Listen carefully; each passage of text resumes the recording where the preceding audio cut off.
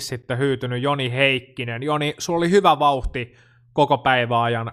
Dayton rata tuntui selkeästi sopivan sulle, mutta sitten tuossa finaalissa startissa meni heti kaikki pieleen, niin kuin niin monta kertaa rallycross-kilpailun startissa on aikaisemminkin mennyt. Kerro meille, että mitä tuossa oikein tapahtui noin niin kuin kuskin näkökulmasta.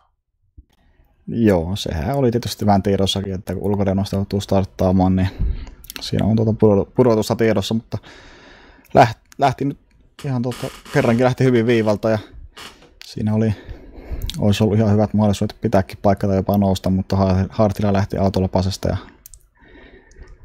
ja ihan jarru, ensin luuli, että oltaisiin osuttu, mutta katsoo uusina, niin ihan jarru, jarrusosilla lähti se irti ja tuli kylkeä ja siinä sitten, sitten tiputtiin. Ja loppukisa sitten oli vähän vauhtia, nyt olisi ollut harttia enemmän, mutta sillä oli tosi huono yhteys ja varppaili auto mihin tahansa sattuu ja paaleakin lenteli välillä, niin siinä oli jo tosi, tosi hankala seurata, että eipä siinä oikein pystynyt, pystynyt nousemaan. Kyllä, mutta näki selkeästi sun otteesta sen, että sulla oli todella hyvä vauhti niin päällä koko ajan.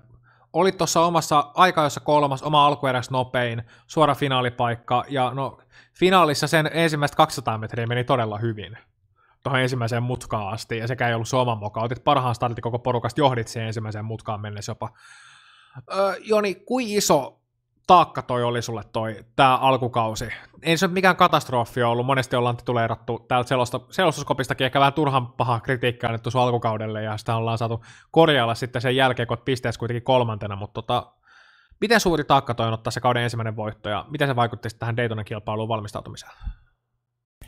No ei se sinällään varmaan se, että voitto tuli, niin ei sillä nyt ole vaikutusta, mutta kyllä tämä ihan niin kuin, tämä auto on, on koko ajan tuntuu, että on hallussa paremmin ja pystyy niin kuin, ajamaan jo lähestulkoon sillä tasolla, millä Beatlella viime vuonna, että tietää mitä auto tekee eikä tarvi kuski vie autoa eikä auto vie kuski. Kyllä auton vaihto siis tälle kaudelle tosiaan sulla oli tiedossa, eli Beatlestä Subaruun. Oliko toi positiivinen? Nyt kun ollaan ajettu kaus melkein kokonaan, jossittelu tässä kohtaa on melko turhaa, tekemätöntä ei voi muuttaa, mutta uskotko, että olisi saanut parempaa tulosta Beatlella aikaan kuin mitä Subarulla?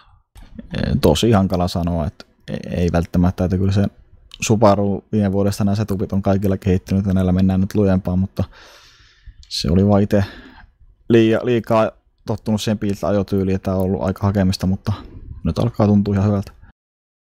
Kyllä. Mitä sitten tuohon viimeiseen kilpailuun? Siellä on tiimikaveri Trugenilla nyt, sanotaanko näin nyt toinen käsi siinä pystissä jo, ja ovikirja ollaan, ja siinä nyt voidaan pikkuhiljaa alkaa tekemään semmoista esivarausta ilmoitusta poliisille, että hei me haluttaisiin storikäyttöön tänä ja tänä päivänä. Tota, mitäs sitten, kun nyt lykkääntyi kuitenkin ensi viikolla, niin millä mielin tuohon viimeiseen kilpailuun lähdetään harjoittelemaan, että samalla lailla kuin muut, vai onko tämä nyt semmoinen, että lähdetään ottaa kaikki irti ja sen jälkeen päästään lomaille?